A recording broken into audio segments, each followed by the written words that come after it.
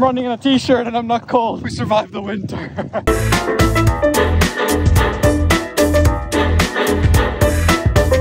I'm not a handyman. I don't know how to do this kind of stuff. We're trying to fill up the one wheel because it's such a beautiful day. We're like, we gotta go for one wheel rides, but neither of us are very uh, handy. You don't pay me enough for this kind of stuff. He's just nervous to ride on it.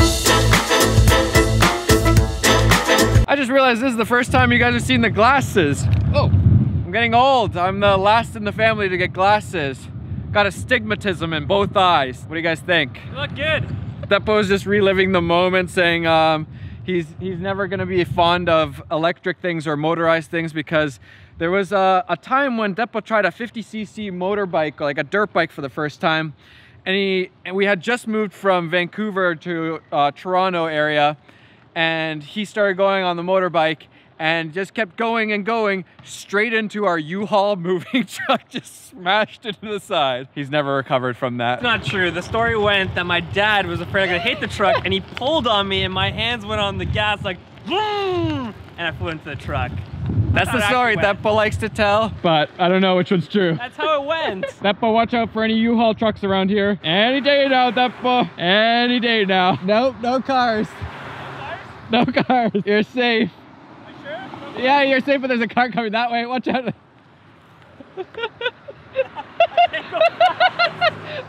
That's as fast as you can get across the oh, road. Oh, my legs are shaking so much there. like an old grandpa on this thing. These are, one wheels are fast and he's like, I'm gonna cross the road.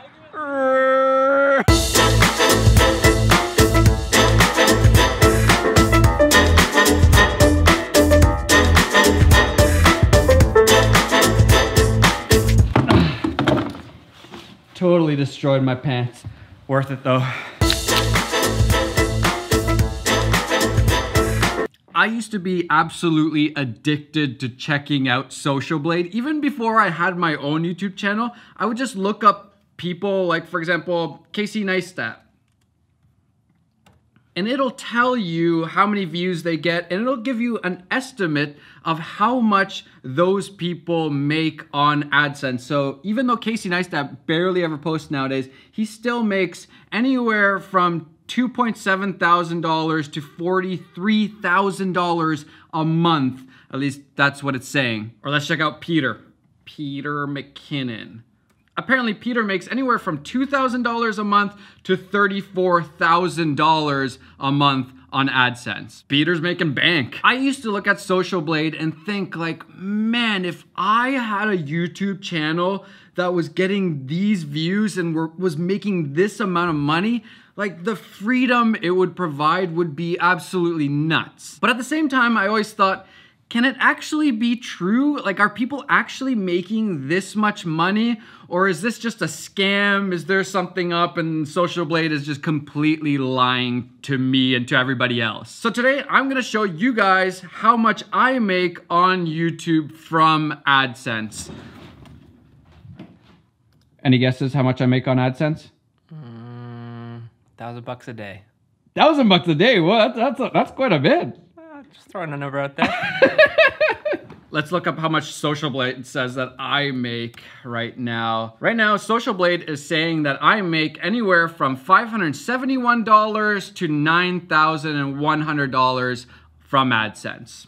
Let's see if that's true. And I just wanna say, the reason why I'm making this video is that it would open your eyes to see what's possible, or maybe it's a reality check, or both. And let's also address the range. Why does Social Blade give such a crazy range? Like it says that I'm making anywhere from $500 to $9,000 a month. That's a big range. And that's because nobody on YouTube gets paid the same amount. Everybody has a little bit of a different CPM, and the CPM is how much you get paid per thousand views. And not all views are monetized, so you don't always get served an ad, and so therefore you won't get paid for those views because there was no ads on those videos or those watches. And for me, from what I've seen, my CPM has ranged anywhere from about $8 in the early days to up to $15, $20 per thousand views. And so that can wildly vary depending on the channel. I know some channels that are only getting about $2 per thousand views. And then there's other channels finance that are getting like $50 per thousand views. That's like, that's crazy. So let's start off with the early days. I started my YouTube channel in 2017, or at least that's when I said, I'm gonna start doing YouTube consistently every single week. Before that, I had a few of these like epic travel films, travel feels. And so I had already uh, about 3,000 subscribers when I started being full-time YouTube and I had a, a, little bit of views already. So I had my channel monetized already. And you can see uh, in January, I start, I'm making a dollar, 40 cents, 28 cents a day. Nothing spectacular, very low numbers. And I posted a few tutorials, few different videos. And then all of a sudden, February 1st, Jan end of January, February 1st, things start to take off a little bit. And it was actually my very first tutorial that I made, how to make GoPro cinematic, that all of a sudden just like hit the algorithm and all of a sudden started getting views. And then 1836 i was getting $36 a day all of a sudden mostly just from that one video that kind of started to pop off and even after that video started to take off and i started to get some views and subscribers i wasn't making anything crazy like 20 30 dollars a day which isn't that much when you're working you know eight hours a day or more on your youtube channel so it wasn't anything exciting but there was consistency to it. I was actually making money, which was really fun, and it, it, was like this this realization that like, oh, this could actually someday become something that actually pays me a decent amount. Then something happened. I assume probably some more videos. I had consistently posted videos in April um, at the end of April, I started getting 50, 60, 80 dollars a day. Some days, 92 in one day, 90 dollars. There seems to be like a like a tier that I hit that now is getting anywhere from 40 to 90 dollars a day. And that's probably just from posting enough videos and maybe another video kind of took off. So we had that making GoPro cinematic that was kind of taking off and then maybe another one maybe it was a color grading one or something started taking off. And so now I have two videos that are doing really well and consistently getting me views. And so I started making pretty good that, that's already like fairly decent money making $90 American in one day and then you can see that it just keeps going up from there. All of a sudden now we hit $122 and it kind of like stays at that tier now where it's it's 134 and then the lowest is like 40, 50. And then by the end of the year, some of the highs, I was making $259 in one day.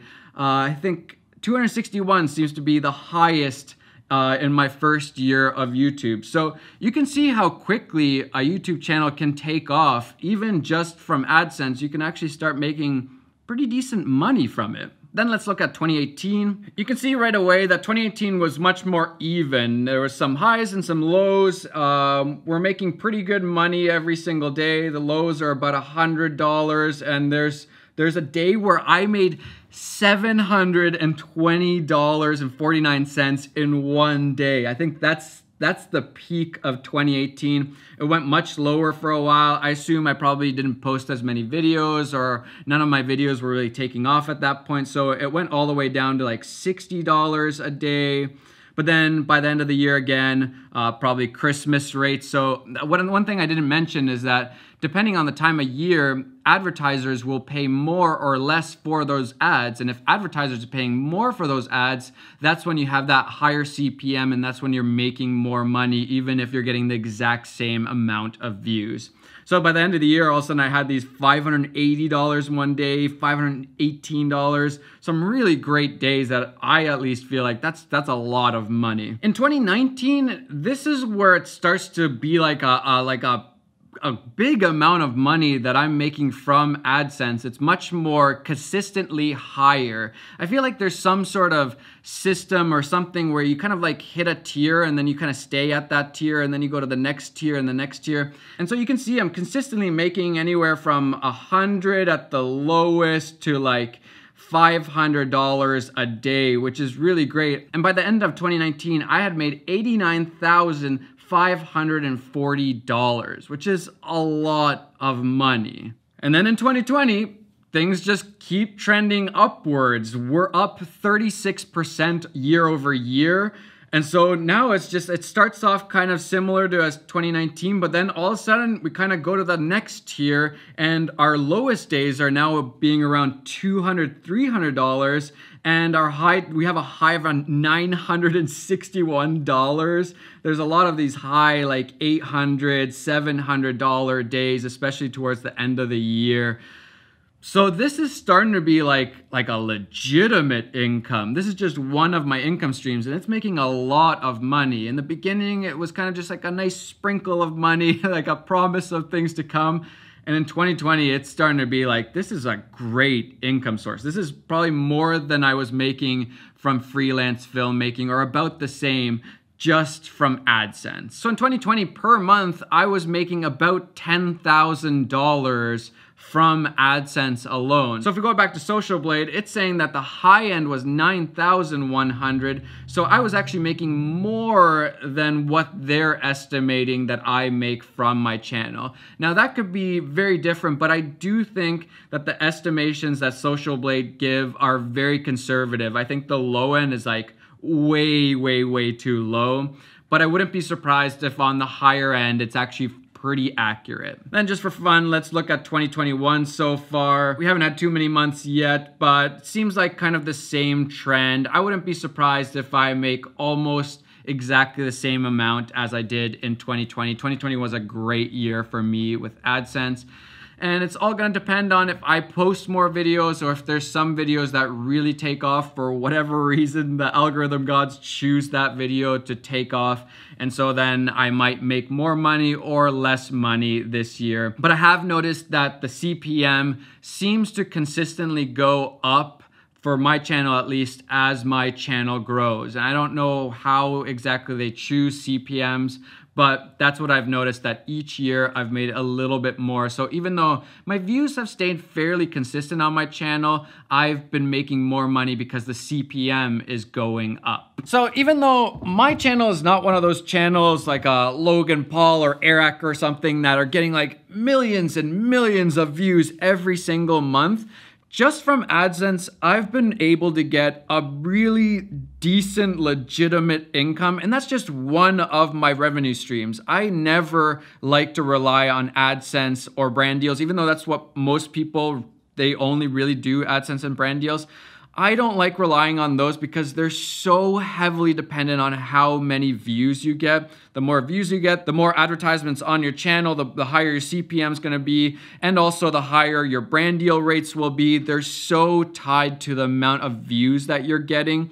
Whereas, for example, you can have a course, and even with just, you know, five, 10,000 subscribers, if it's a specific niche and you offer this course that really provides value for those people in that niche, you can make a lot of money, like 10 times, maybe even 100 times the amount that you would from AdSense. Always maximize your revenue streams.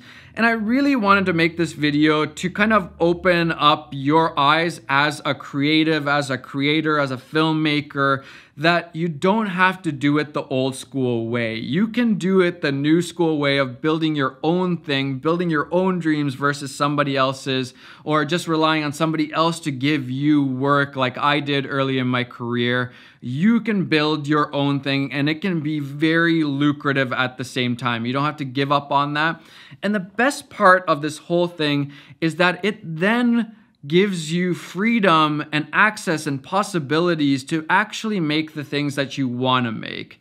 People think that, you know, if I keep freelance filmmaking and I'm working for big companies, eventually some guy's going to be like, "Hey, I want to pay you to make your personal project."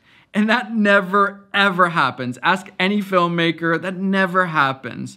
But if you can build your own brand, your own channel, for example, you can then decide, hey, like, I want to make a I want to make a short film or I want to make a series and put it on my channel and I'll take people along for the ride and show them the BTS and all that stuff. Like I have that opportunity now. I have way more freedom to choose what I actually want to do.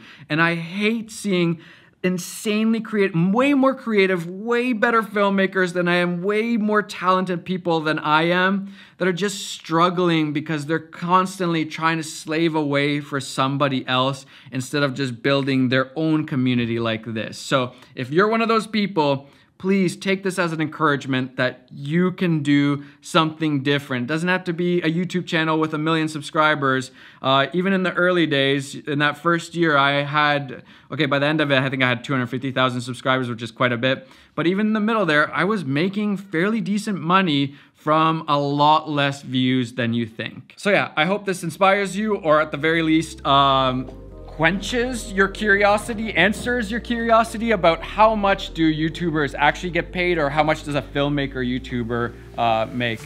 That, but did that surprise you at all? About $10,000 US a month? That's pretty good. That's what's paying your salary. Thanks, AdSense. Windows down, some solid milky. Life is good. You gonna say hi to everybody? Can't believe she's already six months old.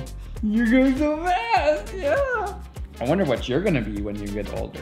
You're gonna be a filmmaker? A director? No? A YouTuber? See you later. Bye, guys.